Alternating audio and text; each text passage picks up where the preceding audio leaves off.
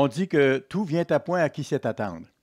C'est vrai pour les mauvaises choses comme pour les bonnes choses, bien sûr, mais tout vient à point à qui sait attendre. Et moi, j'ai attendu pendant six jours, ce jour d'aujourd'hui, il y a quelques semaines, on m'a envoyé l'horaire de prédication et on m'a donné l'occasion de venir vous parler aujourd'hui à la fête des tabernacles à Virginia Beach. Je ne m'attendais pas à ça parce qu'écoutez, il y a tellement de ministres, de ministres poids lourds ici dans la région de l'Est des États-Unis. Mais ça m'a été donné et ça me fait vraiment plaisir d'être avec vous aujourd'hui. Je m'y suis préparé et j'anticipais ça avec plaisir. Vous savez, nous avons chanté un beau chant tantôt, dans peu de temps. Et c'est vrai que dans peu de temps, tout va changer, la paix sera sur la terre. Ça a été composé par M. Ross Judson. Il a composé plusieurs cantiques que nous chantons maintenant, que nous avons dans notre livre de cantiques. Bien sûr, Dwight Armstrong en avait composé quelques-uns aussi. Mais quand ça a été composé, dans peu de temps, ça a été composé pour les enfants, pour chanter à la fête des tabernacles. Mais ça a été tellement bien reçu, c'était simplement fait. Les paroles sont touchantes. Alors, tout le monde a aimé tellement ça que ça s'est retrouvé rapidement dans notre livre de cantiques et nous le chantons depuis ce temps-là. C'est formidable. Ça a été composé au début des années 60.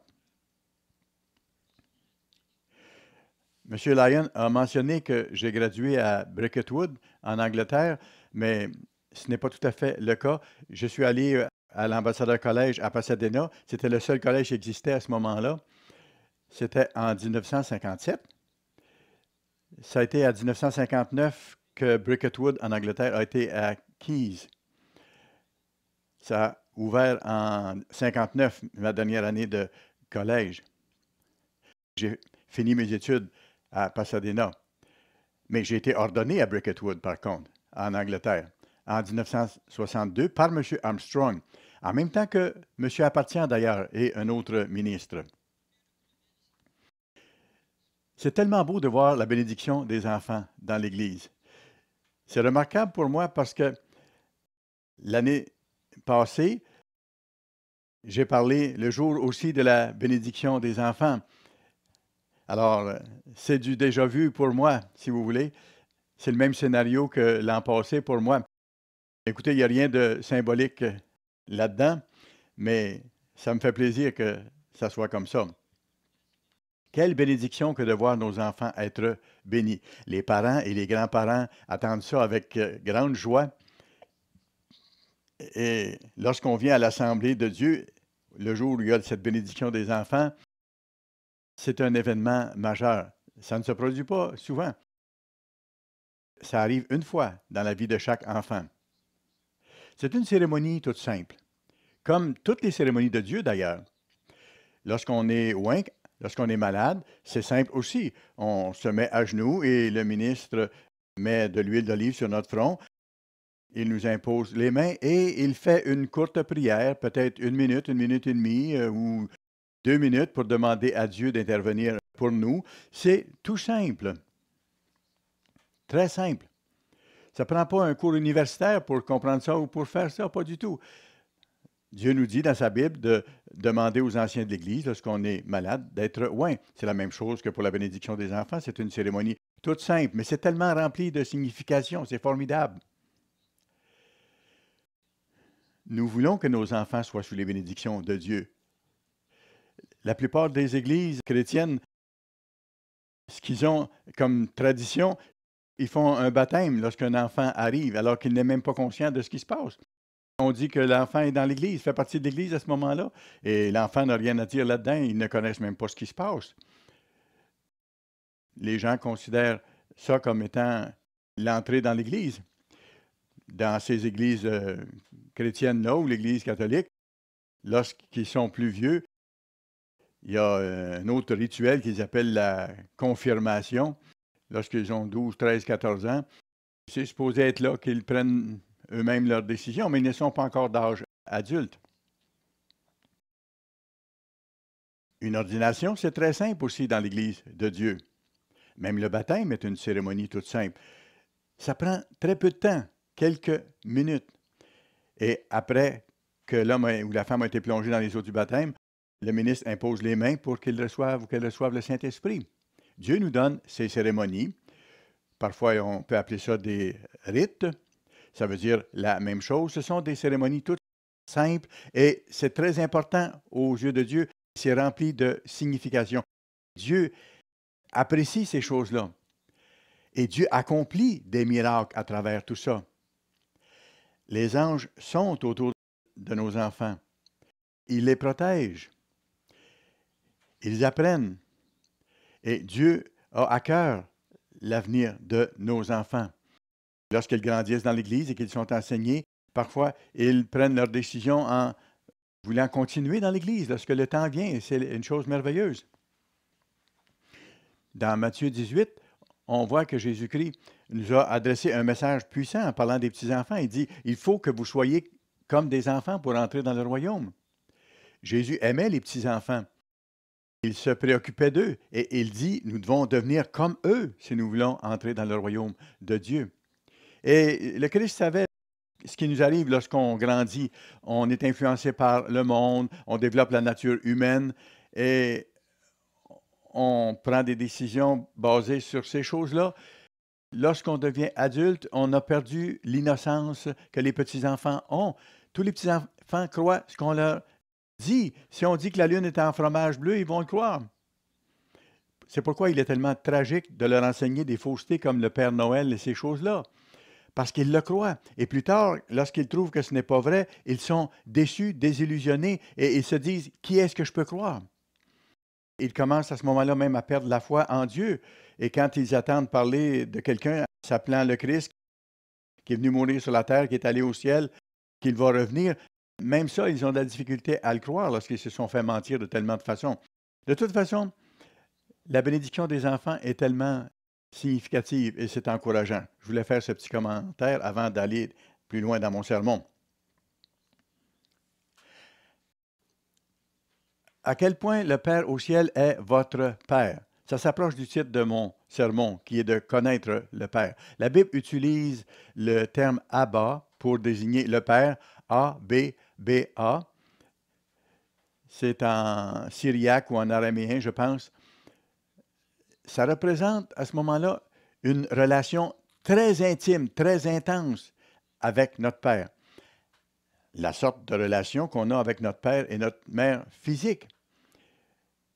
Il y a quelques endroits dans la Bible, je pense c'est trois endroits où on retrouve ce terme-là, Père, Abba, en décrivant Dieu notre Père.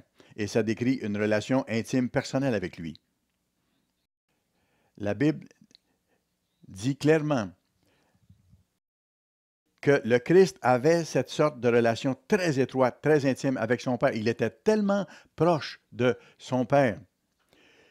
Toute sa vie, ça a été le cas.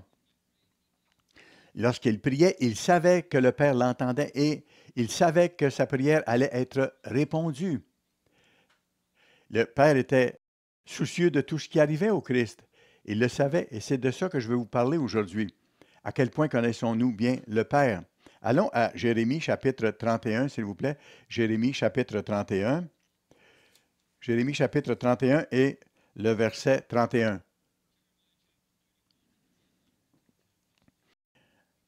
un des chapitres qui parle de façon éloquente du royaume de Dieu. C'est très frappant, c'est très encourageant. Jérémie 31, verset 31. Voici, les jours viennent, dit l'Éternel, où je ferai avec la maison d'Israël et la maison de Juda une alliance nouvelle. Ces deux entités différentes. On sait qu'elles se sont divisées au cours de l'histoire, mais ils ne resteront pas séparés.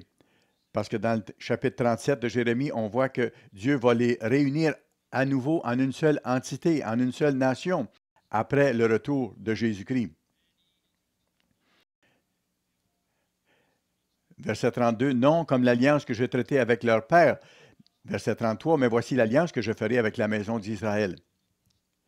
Ça a été répété par l'apôtre Paul dans Hébreu 8 et dans Hébreu 10, mais c'est ici que ça a été écrit originellement.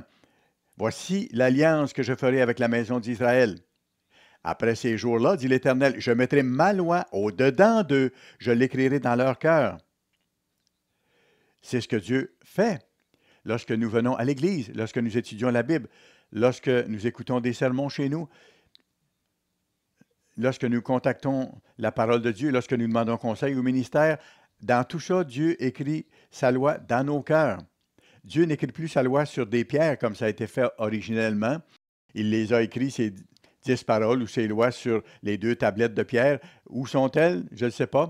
Certains pensent que ces tablettes de pierre se trouvent enterrées sous Jérusalem, mais on verra plus tard. Si jamais Dieu veut que ça revienne, qu'on les retrouve, on les retrouvera dans le monde à venir. Originellement, il a écrit ces lois sur les tablettes de pierre parce que c'est un matériau qui est très durable. Il continue en disant, Je serai leur Dieu et ils seront mon peuple. Celui-ci n'enseignera plus son prochain. En disant, Connaissez l'Éternel ou connaissez-vous l'Éternel? Car tous me connaîtront, depuis le plus petit jusqu'au plus grand, dit l'Éternel. Car je pardonnerai leur iniquité et je ne me souviendrai plus de leurs péchés. Quel concept merveilleux. Aujourd'hui, il y a des gens qui se disent chrétiens ou des gens qui sont religieux qui ont tendance parfois à demander à d'autres personnes, est-ce que vous connaissez le Seigneur? Est-ce que vous connaissez Dieu? Ce n'est pas notre habitude dans l'Église euh, du Dieu vivant de faire ce genre de choses, de demander à des gens autour qui ne sont pas dans l'Église s'ils connaissent Dieu. Mais certains veulent essayer de savoir ce que les autres pensent par rapport à Dieu par rapport à la Bible.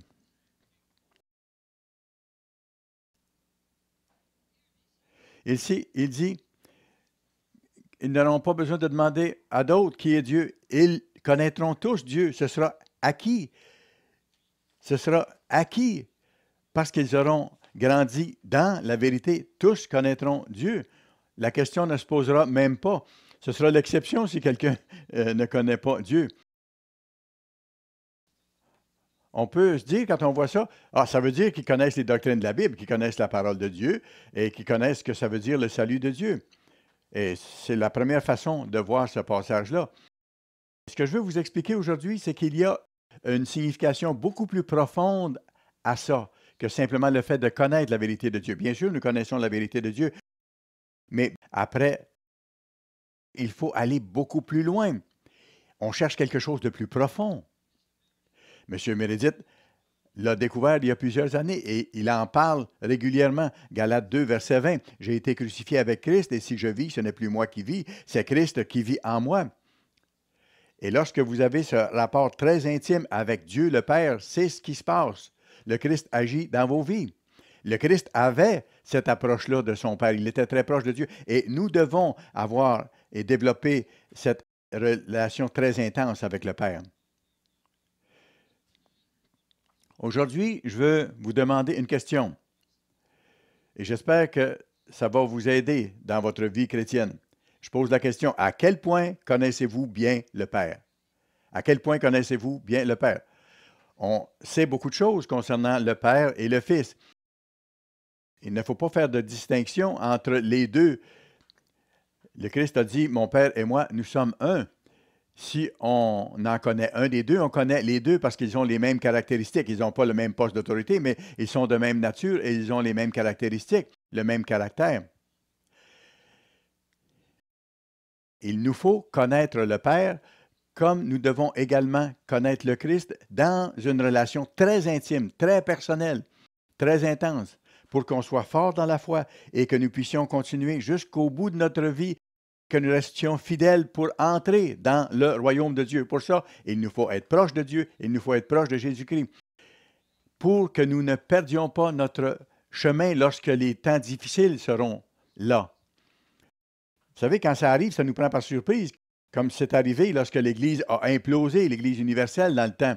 On ne s'attendait pas à ce que ça vienne comme ça. On disait l'Église ne périra pas. C'est vrai, l'Église n'a pas péri. Il y a un petit groupe qui a continué, l'Église du Dieu vivant. Mais c'est arrivé de façon inattendue et ça nous a pris par surprise. On ne s'attendait pas à ça de cette façon-là. On savait que l'Église allait être attaquée, mais pas de cette façon-là. on se demandait quoi faire. Est-ce qu'on allait rester avec cette Église-là qui avait changé ou si nous allions rester avec la vérité?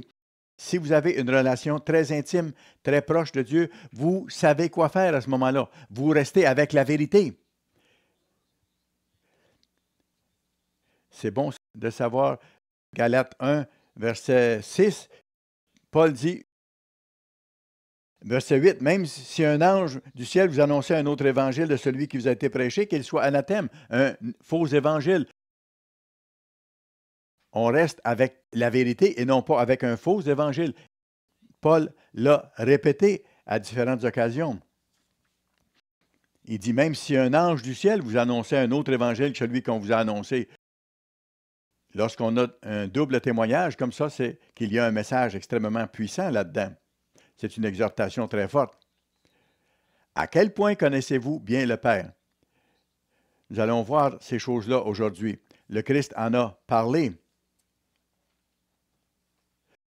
Nous allons voir à quel point le Christ avait un rapport extrêmement intime, complètement intime avec son Père. Et il nous faut développer ça, il nous faut l'avoir, ce type de rapport avec notre Père. Et quand les épreuves, les tests viendront, on sera capable de passer au travers. Jean chapitre 17, s'il vous plaît. La dernière prière que le Christ a adressée à son Père avant d'être arrêté et avant d'être tué, c'est la prière sacerdotale qu'on appelle. Les disciples l'ont entendu et l'ont rapporté. Il y avait sans doute plus que ce qui est écrit ici, mais ils ont rapporté l'essentiel de sorte que nous pouvons avoir le même message, nous pouvons le comprendre. Jean 17 et le verset 1, après avoir ainsi parlé, Jésus leva les yeux au ciel et dit, Père, il nous a dit ailleurs qu'il nous faut prier le Père. Le Père était son Père, son Dieu. C'est de là qu'il venait. Il avait été avec lui de toute éternité avant qu'il devienne Jésus-Christ dans la chair humaine. Il a continué à prier son père. Il est décédé à 33 ans et demi. Père, l'heure est venue. Je vous ai dit tantôt que tout vient à point à qui sait attendre. Le Christ attendait ce moment. Il était venu pour ça. C'était sa destinée. Il était venu ici pour s'offrir en tant que sacrifice pour nos péchés. Glorifie ton Fils afin que ton Fils te glorifie. Et c'est ce qu'il a fait dans ce qu'il a accompli ensuite aussi. Il a accompli cette partie du plan de Dieu.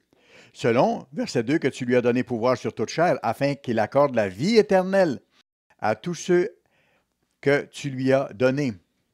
C'est facile de lire ça rapidement et de ne pas tout saisir.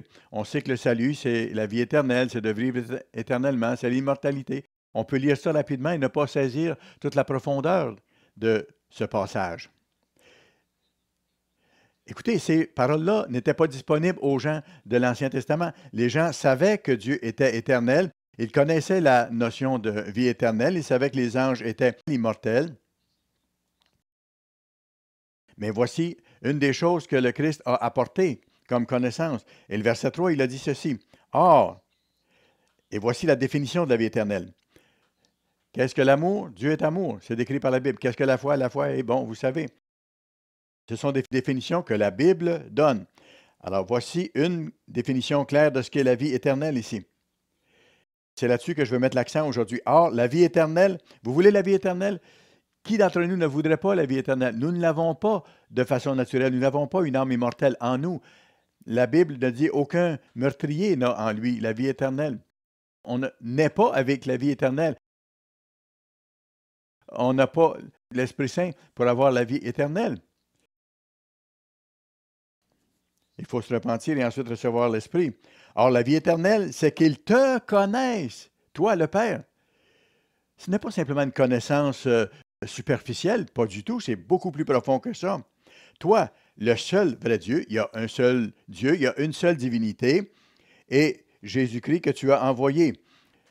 C'est la famille de Dieu. La divinité, c'est une entité, une seule famille de Dieu, une seule divinité mais elle est composée de deux êtres divins.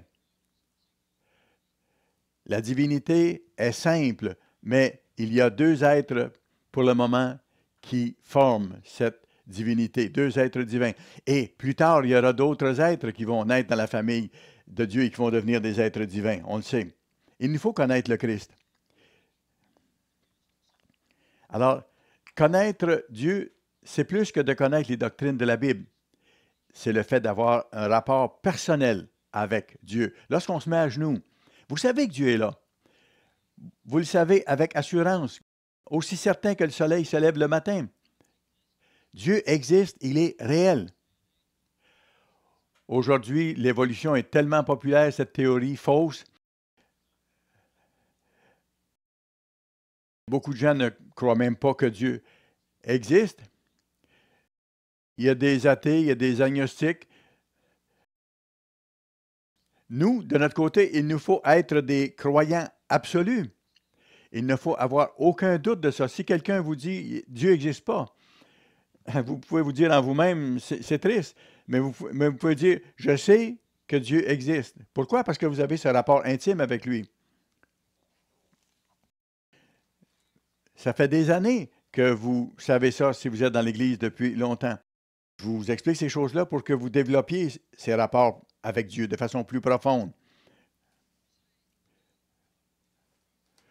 On dit qu'on connaît Dieu quand on connaît la vérité de Dieu, oui, mais il faut que ça aille plus loin que ça, beaucoup, comme je vous explique. Allons à Jean chapitre 3, s'il vous plaît. Jean chapitre 3. Je vais prendre quelques moments ici pour parler de cela parce que ça m'impressionne toujours. Nicodème ici, il est allé de nuit voir Jésus parce que c'était un des chefs des Juifs à l'époque. Et il ne voulait pas que les autres le sachent parce qu'il aurait probablement perdu son poste à la synagogue. Alors, il est allé de nuit, en secret, pour ne pas être vu. Et au verset 2, il est dit, il est venu de nuit auprès de Jésus et il lui a dit, Jean 3, verset 2, Rabbi, nous savons que tu es un docteur venu de Dieu, car personne ne peut faire ces miracles que tu fais si Dieu n'est avec lui. Il est venu poser des questions à Jésus pour avoir plus d'assurance par rapport au Christ. Il a dit en commençant, je ne suis pas ici pour discuter le fait que tu viens de Dieu, on est certain que tu viens de Dieu. Personne ne peut faire ce que tu fais s'il ne vient pas de Dieu. Qu'est-ce que Jésus a répondu? Est-ce qu'il a dit, ah oui, tu as raison, Nicodème, oui, je peux t'assurer que je viens de Dieu, oui, oui. Non, c'est pas ça qu'il a dit. Jésus lui a répondu, en vérité, en vérité, je te le dis, si un homme ne naît de nouveau, il ne peut voir le royaume de Dieu. Wow! Si j'avais été Nicodème, je me serais dit, qu'est-ce que j'ai dit qui a apporté cette réponse? D'où ça vient? C'est pas de ça que je lui parlais. Pourquoi il me répond de cette, de cette façon-là? D'où ça vient? Qu'est-ce qui a provoqué cette sorte de réponse? Ce qui m'a toujours impressionné dans ce récit, c'est que cet homme-là a mis sa carrière en jeu en allant voir le Christ et Jésus a été impressionné de lui aussi. Peut-être qu'il le connaissait déjà parce qu'on voit qu'il a souvent discuté avec les pharisiens et les chefs religieux. Peut-être qu'il le connaissait déjà.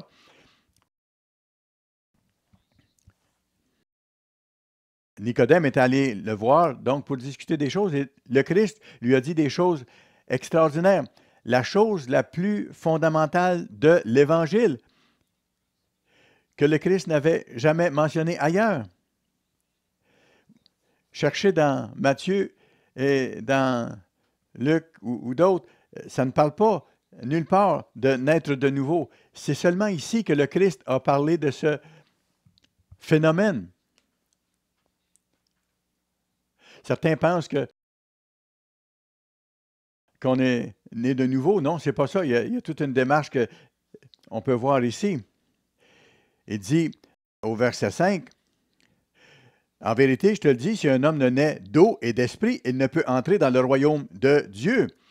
Voyez-vous, il y a deux étapes ici. D'abord, un baptême d'eau, c'est-à-dire être baptisé, se voir pardonner nos fautes en s'étant repenti, et après, on reçoit le Saint-Esprit de Dieu, le dépôt de la vie éternelle, et c'est le début réel du processus d'aller vers la vie éternelle d'être rempli de l'Esprit de plus en plus ensuite en vivant selon les lois de Dieu, jusqu'au jour où on naîtra de l'Esprit au retour de Christ.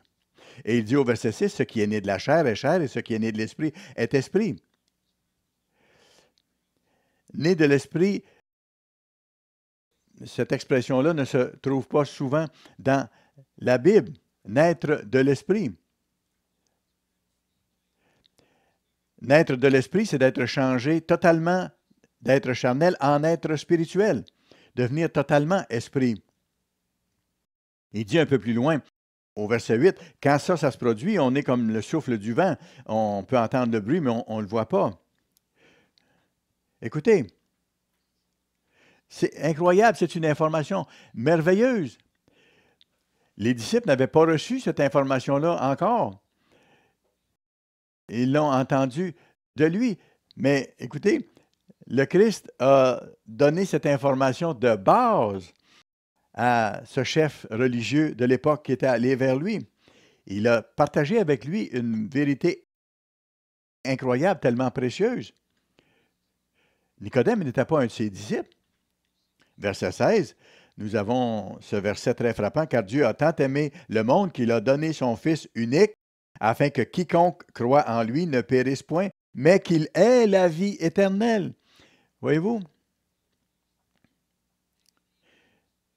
Nicodème fut la première personne à qui ça a été expliqué directement par le Christ de cette façon-là. Je ne veux pas aller plus loin là-dessus, mais ça m'a toujours impressionné ce passage-là. Voilà ce que c'est que d'avoir une relation très intime avec le Christ, d'avoir la compréhension de ces choses-là. Comment développer, comment avoir ce rapport intime avec Allons en Philippiens chapitre 3. Philippiens 3, s'il vous plaît. Et nous allons lire à partir du verset 8, la dernière partie du verset 8. C'est Paul qui parle.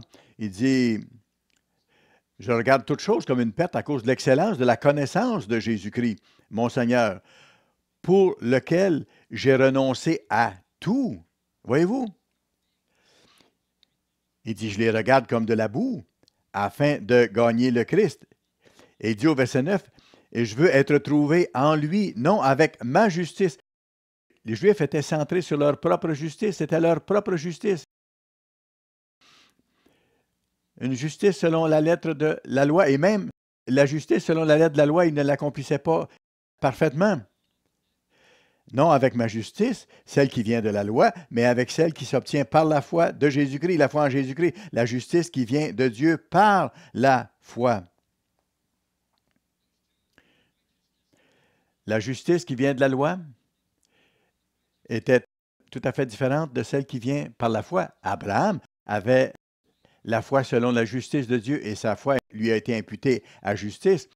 Il a montré sa foi envers Dieu lorsqu'il a offert son fils. Il est allé jusqu'au bout, jusqu'à ce que Dieu l'empêche d'aller plus loin. Dieu savait qu'il le croyait totalement et il a utilisé ensuite Abraham de façon très puissante on voit tout ce qui s'est produit par la suite, les bénédictions qui en sont suivies. Verset 10. Ainsi, je connaîtrai Christ. Voyez-vous, l'apôtre Paul voulait connaître le Christ. Il connaissait très bien les doctrines, Paul. Il a écrit tellement à ce sujet-là. Il avait appris les Saintes Écritures depuis son enfance et ainsi de suite. Mais il voulait aller plus loin. Il voulait connaître le Christ et il voulait connaître le Père. Et c'est la même chose, nous devons avoir cette relation intense avec le Père et avec le Christ pour ne jamais perdre notre chemin. Ainsi, je connaîtrai le Christ et la puissance de sa résurrection et la communion de ses souffrances en devenant conforme à lui dans sa mort. Ça a été le cas par le baptême. Et Paul ici parlait de façon empathique par rapport au Christ. Il réalisait la grandeur des souffrances de Christ pour chacun des êtres humains et pour lui. Le Christ connaissait parfaitement son Père et Paul voulait que ce soit de même entre lui et le Christ et entre lui et le Père du Christ également. Il voulait avoir pleine empathie avec lui. Il voulait ressentir ce que le Christ avait ressenti. il savait que ça l'aiderait dans sa relation avec Dieu et pour le fait de rester fidèle. Il voulait connaître Dieu de la même façon que nous devons apprendre à connaître Dieu. À quel point connaissez-vous bien le Père? C'est important qu'on sache exactement. Vous savez, Jésus-Christ a fait plusieurs choses lorsqu'il est venu ici en tant qu'être humain. Il a accompli énormément de choses. J'ai regardé les choses qu'il a fait. Euh, j'en ai écrit un certain nombre et je pensais que c'était complet avec 6 ou 7, mais je me suis rendu à 12. Je vais en voir quelques-unes avec vous, de sorte que vous allez savoir. La première chose que le Christ a fait, bien sûr, c'est qu'il est venu mourir pour devenir sauveur de l'humanité. Il faut mettre ça en haut de la liste, si vous voulez. Parce que si nous n'avions pas de sauveur, nous n'aurions pas d'espoir. Il est venu pour annoncer le royaume de Dieu sur la terre. Troisièmement, il a rendu le Saint-Esprit disponible et il en a parlé beaucoup vers la fin de son ministère, de plus en plus. S'il n'avait pas fait ça, nous ne l'aurions pas aujourd'hui. Un quatrième point, c'est qu'il a fondé l'Église. Il a dit, je bâtirai mon Église. Il a appelé des disciples et les a entraînés et a ordonné certains comme apôtres et ainsi de suite pour qu'ils accomplissent l'œuvre lorsqu'il serait parti. Il a amené la nouvelle alliance. En fait, c'est l'ancienne alliance à laquelle ont été enlevées certaines choses. Les sacrifices ont été arrêtés pour une période de temps. La circoncision a été arrêtée aussi. Par exemple, les sacrifices physiques, on n'en offre pas maintenant, on en offrira dans le monde à venir, comme on voit dans la Bible.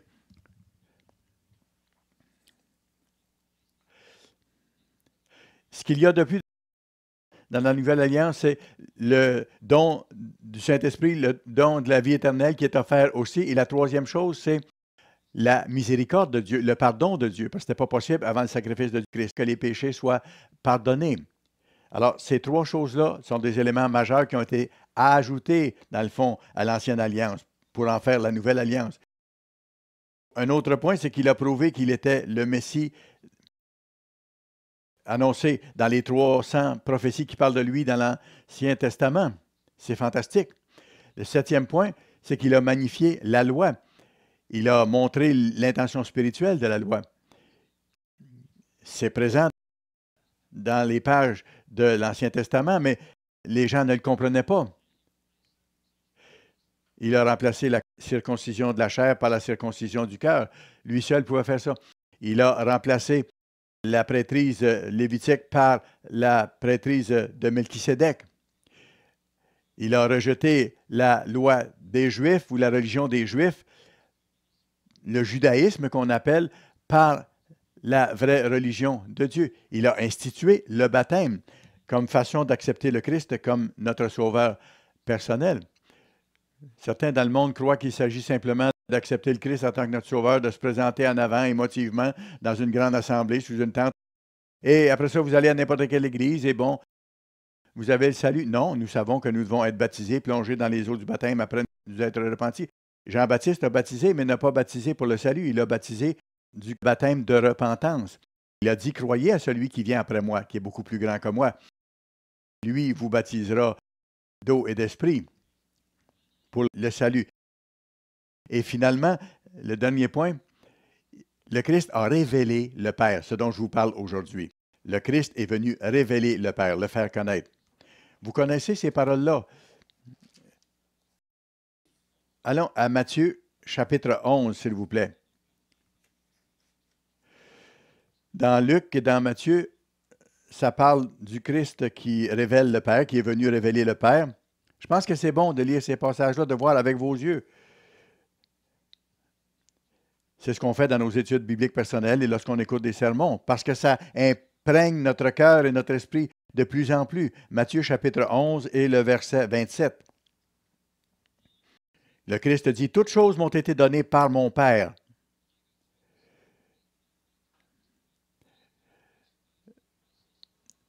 Quand le Christ parle de quelque chose concernant son Père, portez attention. Parce que les seules choses que nous connaissons concernant le Père, c'est ce que le Christ nous a dit. Il l'a révélé. Mais écoutez, le Christ et le Père sont un, ils ont les mêmes caractéristiques, donc à travers un, on peut connaître l'autre également. Alors, on peut connaître beaucoup de choses à propos du Père parce que le Christ nous en dit et parce que le Christ lui-même est. Et il dit, toutes choses m'ont été données par mon Père et personne ne connaît le Fils si ce n'est le Père. Il y a beaucoup de signification dans ces quelques mots. On ne peut pas aller au Christ à moins que le Père lui-même ne démarre ce processus, qu'il n'attire la personne vers le Christ. Il faut que le Père nous attire au Christ. C'est lui qui initie le processus d'un appel vers le Christ. Ce n'est pas le Christ qui fait le premier pas, c'est le Père qui fait le premier pas.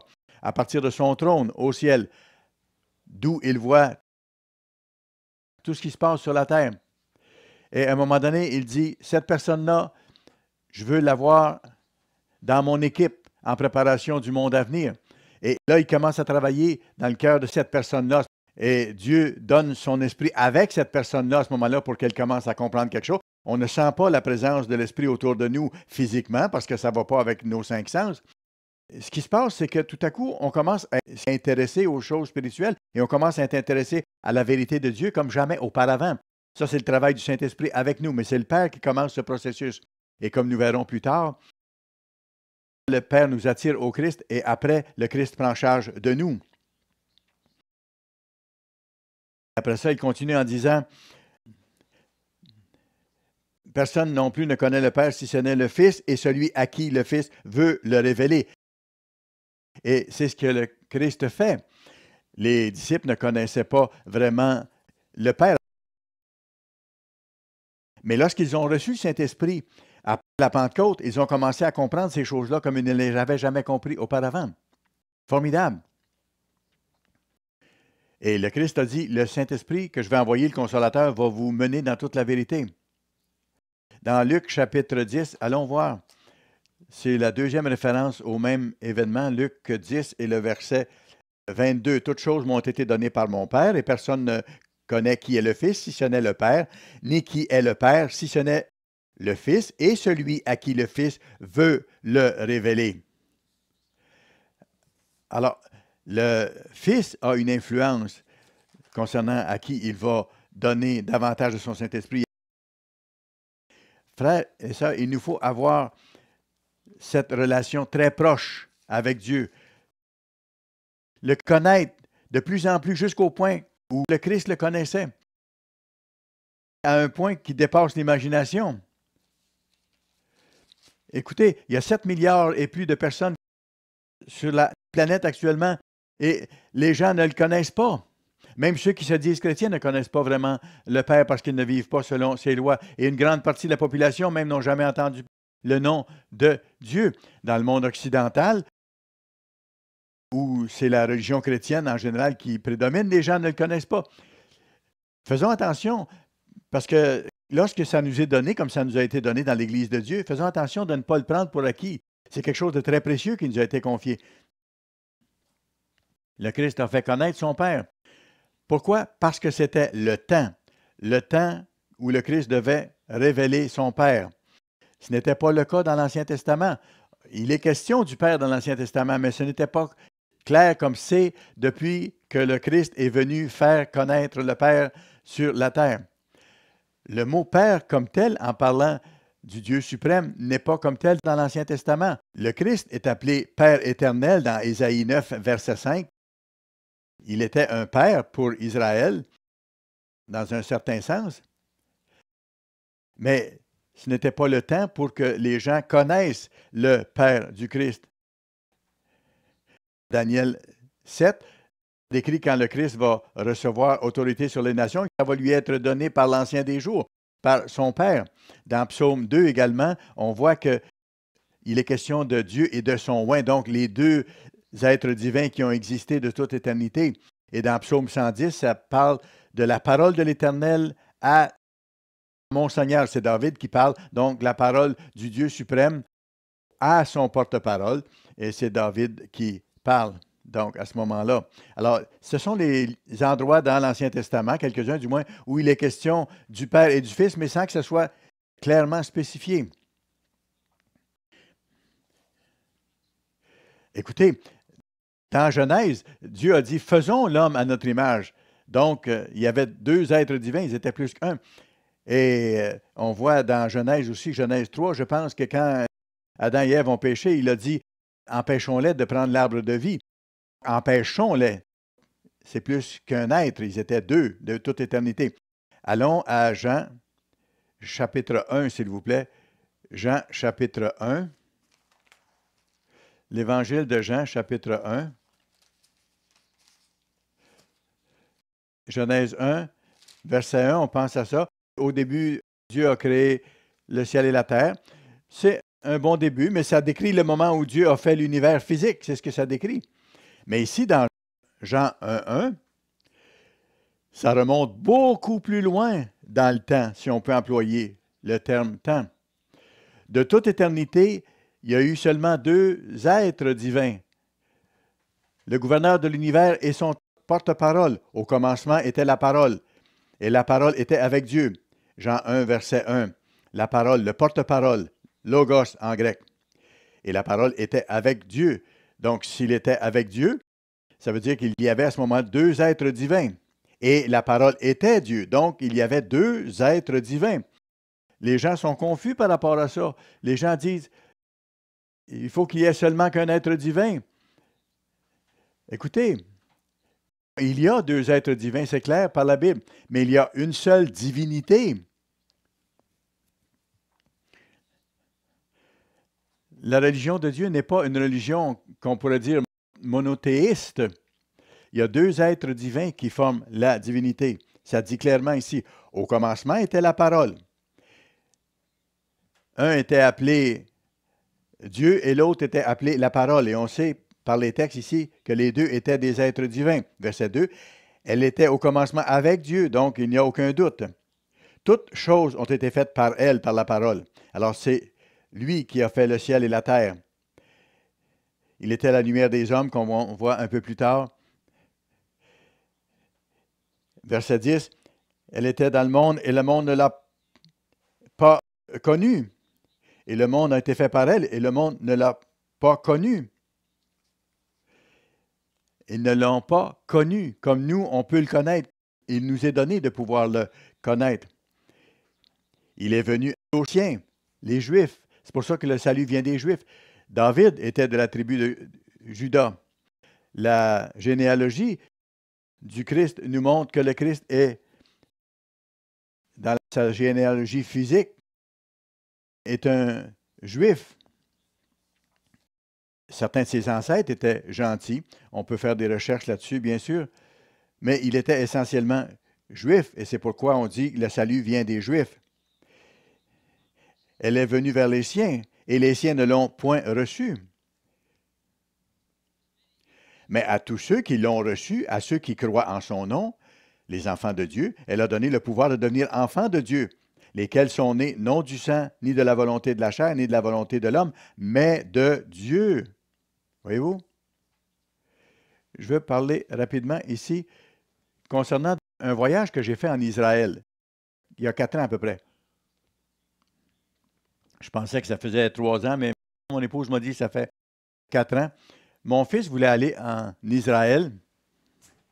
À ce moment-là, il avait le moyen d'y aller. Il nous a amenés avec lui. On était quelques membres de l'Église, en fait, sept.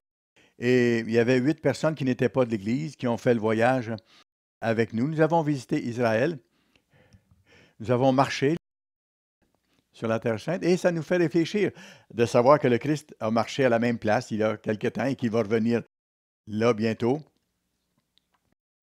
Ce sera là le centre du royaume sur la terre dans le millénium.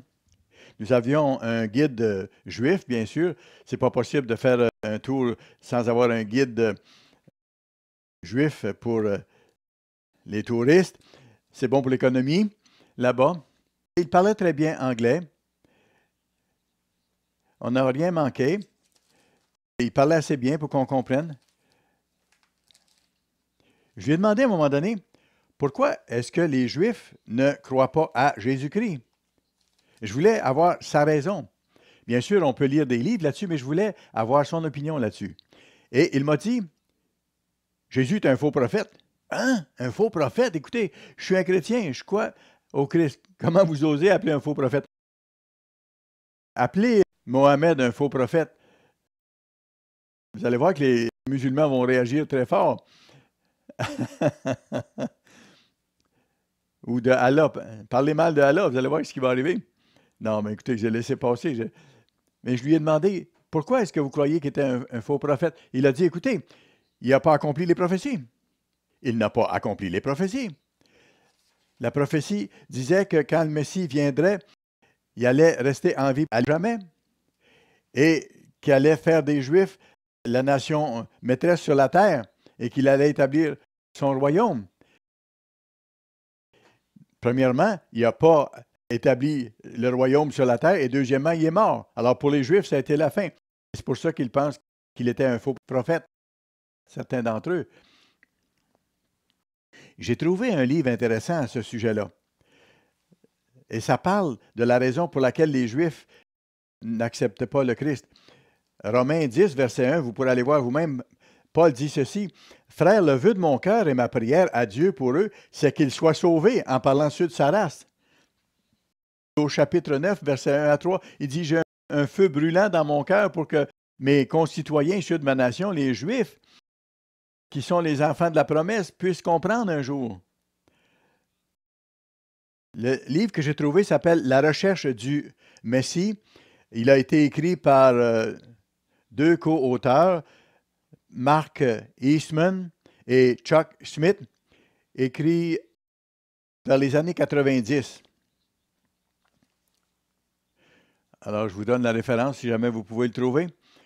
Ça s'appelle La recherche du Messie. Et de quoi je parle aujourd'hui? Je parle de la recherche pour connaître personnellement le Père et le Christ de façon intime. J'ai le livre ici, presque 300 pages. Je ne peux pas vous donner de grands passages de ça, mais je vais vous donner un, passage qui est très éloquent. Ça dit ceci, c'est très intéressant. Ça nous montre pourquoi les Juifs ne comprennent pas qui est le Christ et qu'ils ne l'ont pas reconnu lorsqu'il est venu. C'est écrit ceci. Durant des siècles, les anciens rabbins, on parle des rabbins 100 ans, 200 ans, 300 ans avant la première venue du Christ. Durant des siècles, les anciens rabbins croyaient que le Messie serait le Fils de Dieu. Mais quand il est venu, ils l'ont accusé parce qu'il disait qu'il était le Fils de Dieu. Ils l'ont accusé de blasphème. Pourtant, c'était annoncé dans les textes. Et ces rabbins-là, avant la naissance du Christ, le croyaient. C'est écrit ici.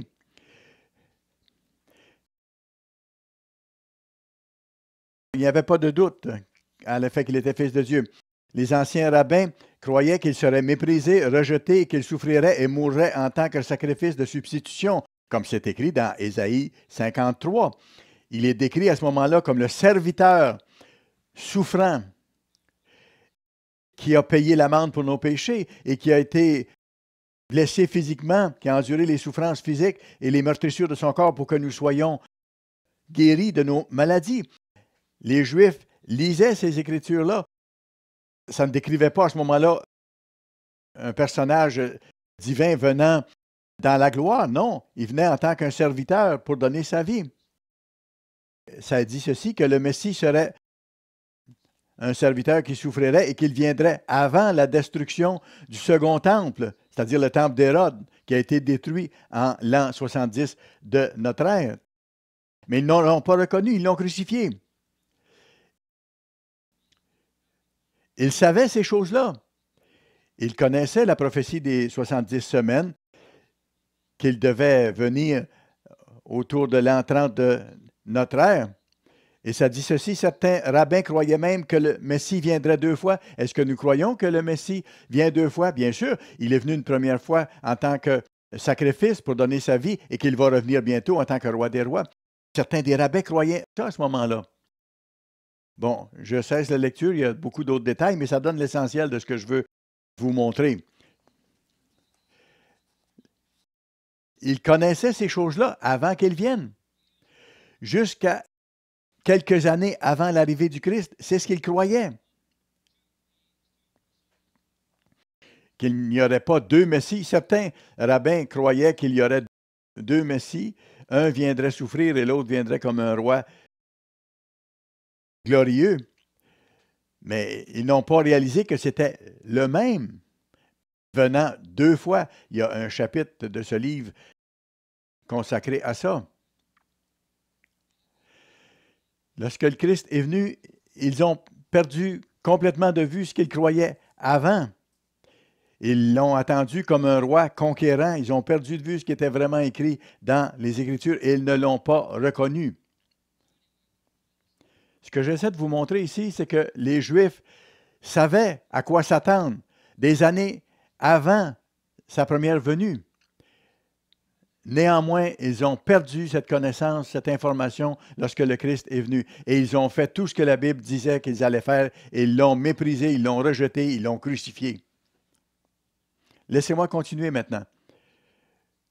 Je vais vous parler dans l'évangile de Jean maintenant, dans les moments qui me restent ici, là où le Christ parle de son Père qu'il est venu faire connaître. Jean chapitre 10. Jean chapitre 10 et le verset 15. Le Christ, dans ces chapitres-ci, parle beaucoup de ses relations avec son Père. Les Juifs ne connaissaient pas le Père et ne pouvaient pas comprendre. Verset 15. Comme le Père me connaît et comme je connais le Père. Et il continue en disant, je donne ma vie pour mes brebis. C'est le passage où il dit qu'il est le grand berger. Le Père me connaît et je connais le Père. Verset 17. Le Père m'aime parce que je donne ma vie afin de la reprendre. Allons au verset 25, s'il vous plaît. Je vous ai dit et vous ne me croyez pas. Je vous l'ai dit et vous ne me croyez pas. Verset 24. Regardez, les Juifs l'entourèrent et lui dirent Jusqu'à quand tiendras-tu notre esprit en suspens? Si tu es le Christ, dis-le. Si tu es le Fils de Dieu, dis-le. Il voulait lui faire dire ces choses-là pour être capable de l'accuser de blasphème. C'est ce qu'ils visaient. Ils ont mis beaucoup d'efforts dans ça.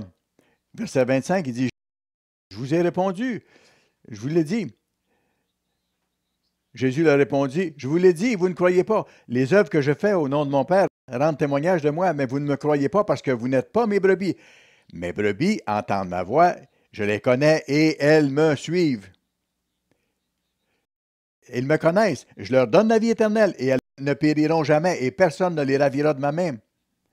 Mon Père qui me les a donnés est plus grand que tous et personne ne peut les ravir de la main de mon Père. Frères et sœurs, en ayant cette relation très proche avec le Christ et avec le Père, c'est marqué ici, personne ne pourra vous détourner de votre route. C'est ce qui va vous garder solide dans la foi jusqu'à la fin pour entrer dans le royaume. Et si vous mourrez avant que le Christ revienne, que vous soyez dans la première résurrection. Sinon que vous soyez guidé par Dieu pour la préparation finale. Jean 8, verset 54. 8, 54, Jésus répondit, je glorifie moi-même, ma gloire n'est rien. Jean 8, 54, c'est mon Père qui me glorifie. Lui que vous dites être votre Dieu. C'est comme ça que le Christ a dit, Lazare, reviens à la vie. Le Christ a calmé les eaux. Le Christ a fait une série de miracles. C'est par la puissance de son Père qu'il l'a fait. Chaque fois qu'il demandait, le Père lui répondait. Pourquoi? Parce qu'il était proche. Et verset 55, vous ne connaissez pas. Vous ne connaissez pas. Pour moi, je le connais, mon Père. Et si je disais que je ne le connais pas, je serais semblable à vous, un menteur. Mais je le connais et je garde sa parole. Nous sommes charnels, nous luttons avec nos faiblesses et il nous faut croire là-dedans par la force de Dieu. Mais nous pouvons connaître le Père de plus en plus comme le Christ par l'Esprit de Dieu.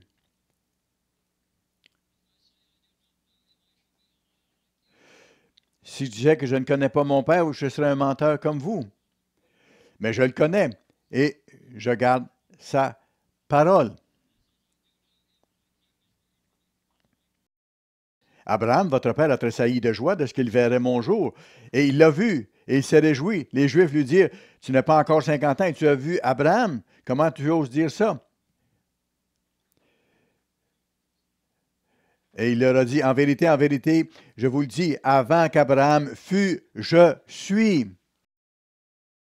Même réponse que Moïse a reçue quand il a dit, qui vais-je dire qui m'envoie?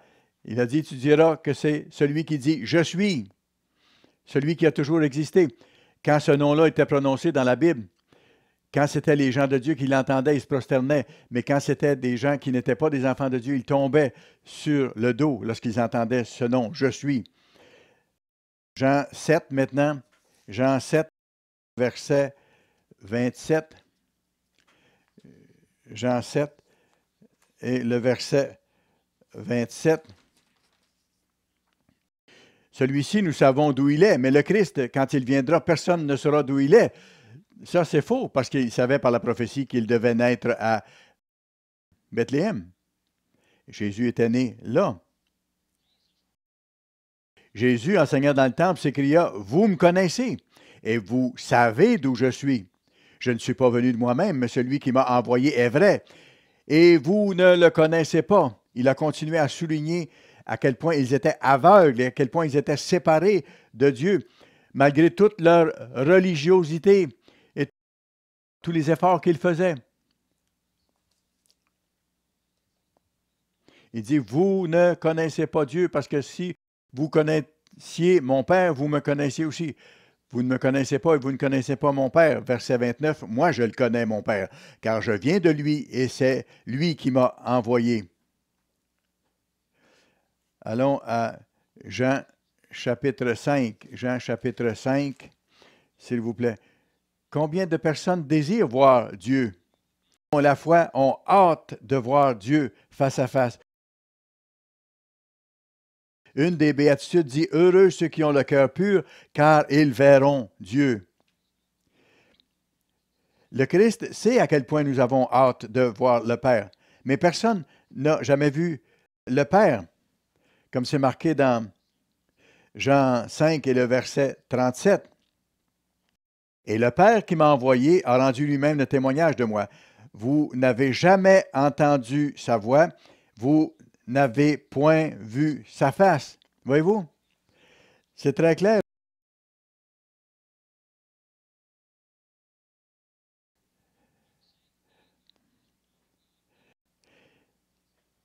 C'est une chose très intéressante qu'il nous dit ici.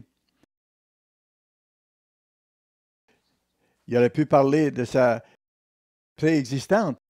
Regardez le verset 46 du chapitre 6 de Jean.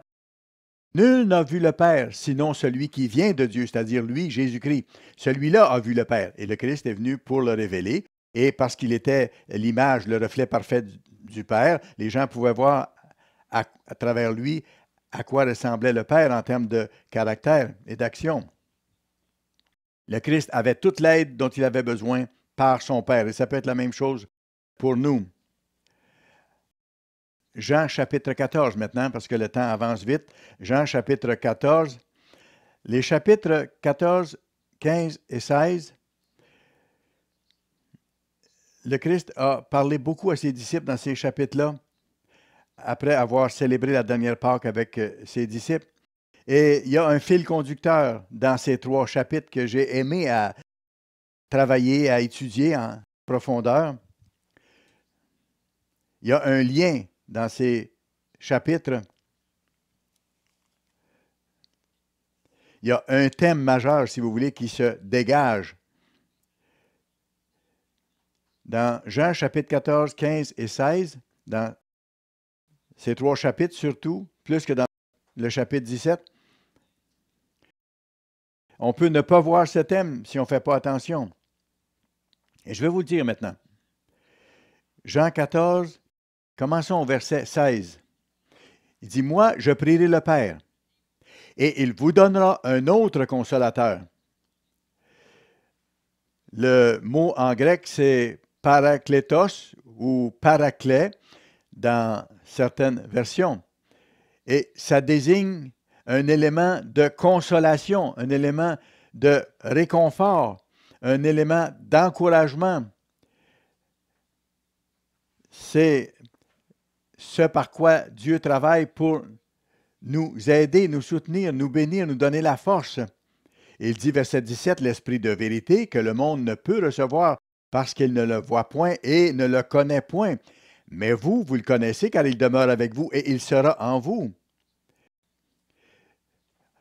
Le Saint-Esprit est avec nous quand Dieu nous appelle avant notre baptême et il est en nous à partir du moment où nous sommes baptisés que les mains nous sont imposées par un ministre Dieu. L'Esprit de vérité que le monde ne peut recevoir parce qu'il ne le voit pas et ne le connaît point. Mais vous, vous le connaissez car il demeure avec vous et il sera en vous. Ici, c'est le pronom masculin qui est utilisé, mais ça ne veut pas dire que c'est une personne.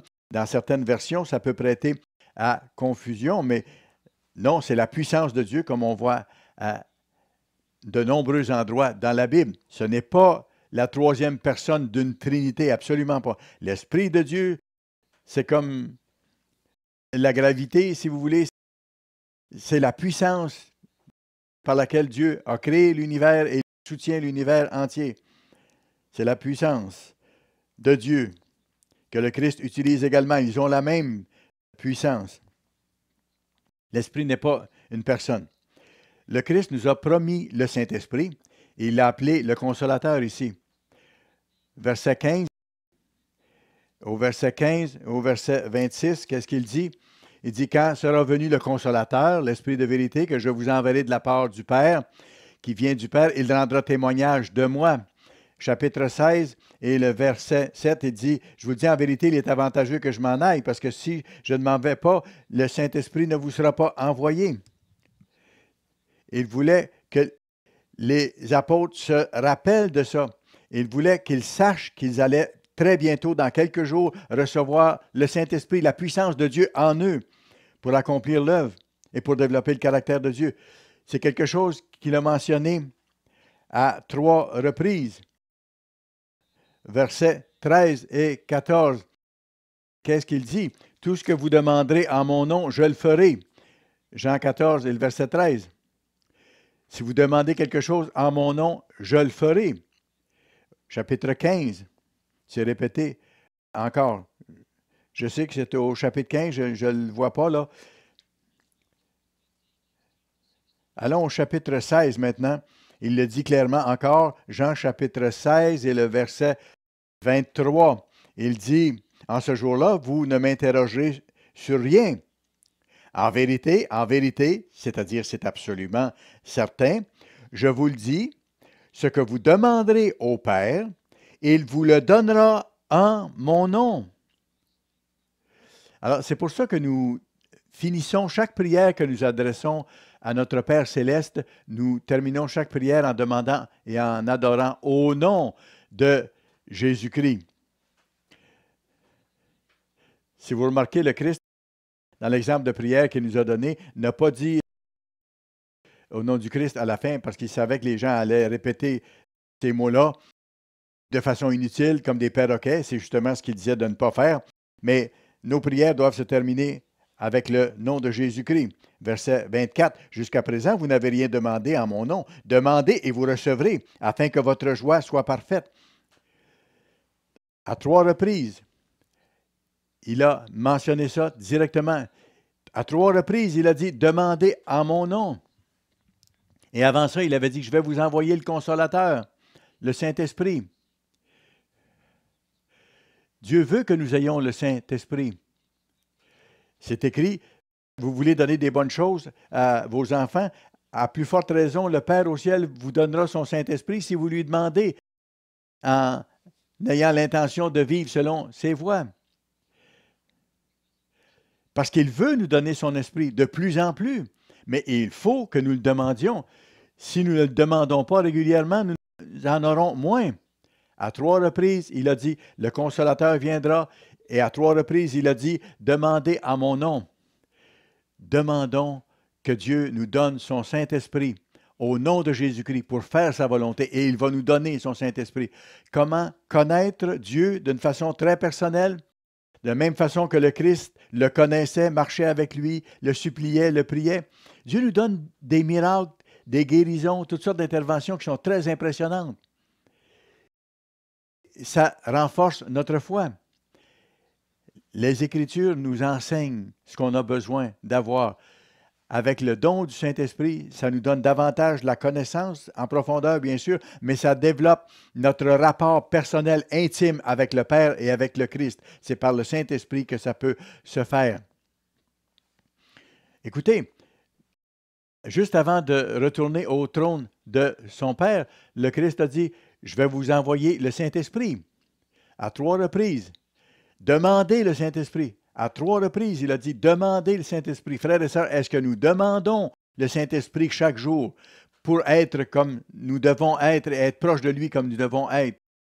Je dois arrêter maintenant parce que on est proche de 4h30 et nous avons beaucoup d'activités ce soir. De toute façon, est-ce que nous demandons le don du Saint-Esprit? Il faut le faire si nous voulons avoir ce rapport très étroit et profond, efficace avec le Christ. Demandons chaque jour avec puissance, avec, insistance de toutes les fibres de notre être son Saint-Esprit pour que nous connaissions le Père comme le Christ connaît le Père.